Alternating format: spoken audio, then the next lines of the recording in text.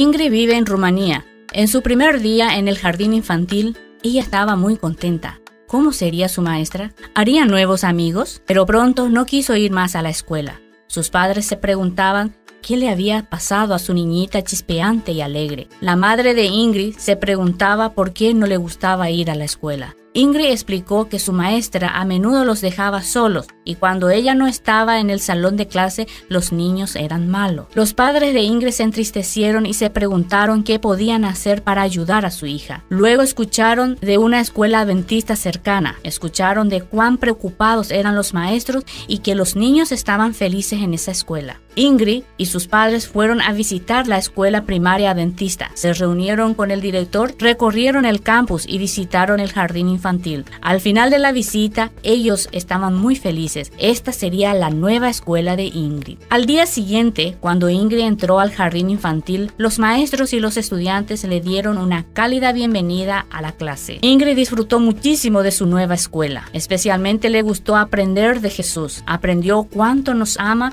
y cómo murió por nuestros pecados. Resucitó ahora y está en el cielo preparando un lugar para nosotros. Cada día Ingrid compartía con sus padres lo que aprendía.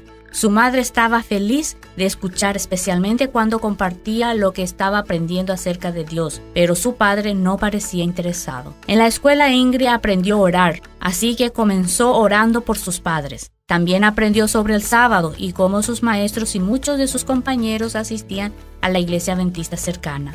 Habló con su maestra sobre su deseo de asistir también y su maestra invitó a la familia a visitar la iglesia el próximo sábado. Ingrid estuvo tan feliz de oír a su madre aceptar ir a la iglesia, pero deseaba que su padre también asistiera, así que siguió orando por él. El sábado por la mañana, Ingrid y su madre fueron a la iglesia. Disfrutó la escuela sabática y le gustó que los maestros hicieran preguntas de la Biblia. Pronto ella también estaba contestando. Semana a semana, Ingrid y su madre, y una que otra vez también su padre, venía a la iglesia. Pasaron los meses e Ingrid terminó el jardín infantil. Tanto ella como sus padres estaban felices con experiencia en la escuela adventista, así que continuó estudiando allí. Un día, cuando estaba en segundo grado, su padre anunció que comenzaría a asistir regularmente a la iglesia con ellas. Ingrid estaba tan feliz. Cuando Ingrid estaba en el tercer grado, sus padres estaban recibiendo estudios bíblicos semanalmente. Esa primavera entregaron su corazón a Jesús y fueron bautizados. Ingrid planeó bautizarse tan pronto tuviera la edad suficiente. Ingrid ya tiene 11 años, está en quinto grado y es muy feliz en la escuela adventista de Rumanía. Ama leer los libros y a aprender. Quiere ser doctora y neurocirujana para poder ayudar a la gente algún día.